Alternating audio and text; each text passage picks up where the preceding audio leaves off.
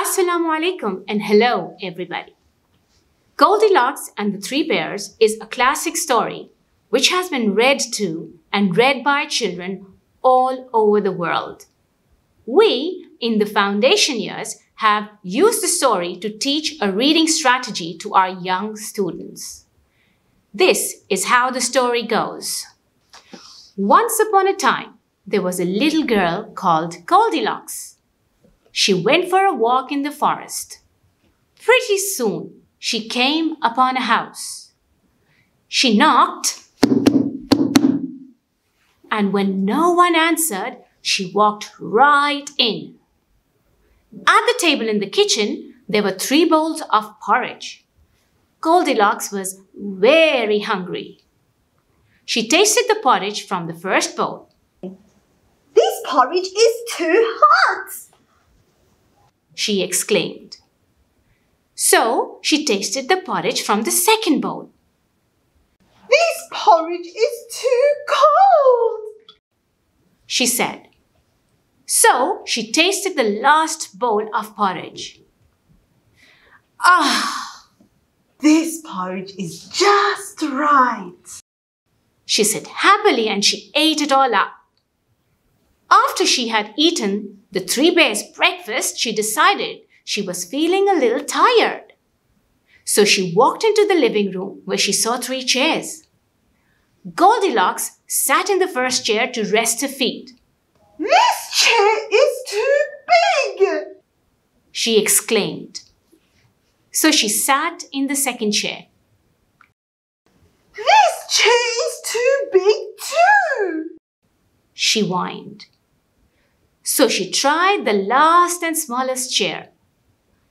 Ah, This chair is just right. she sighed. But just as she settled down into the chair to rest, it broke into pieces.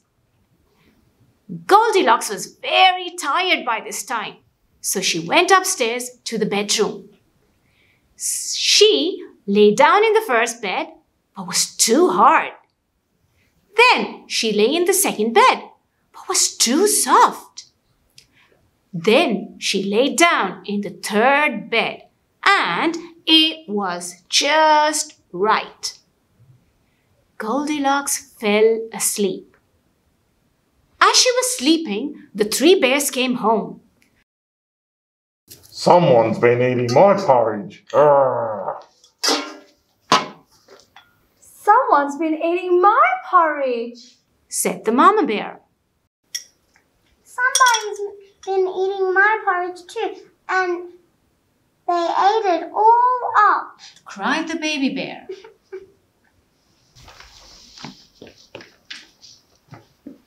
Someone's been sitting in my chair. Arrgh. growled the papa bear. Someone's been sitting in my chair. Said the mama bear. Somebody's been sitting in my chair, and they broke it all to pieces. cried the baby bear.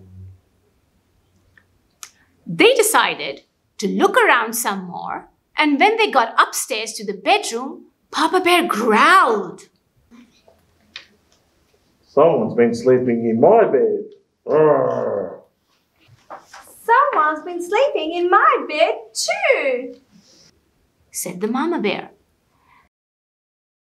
Somebody's been sleeping in my bed too, and she's still there.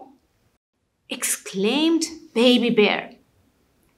Just then, Goldilocks woke up and saw the three bears. She screamed, Help! And she jumped up and ran out of the room.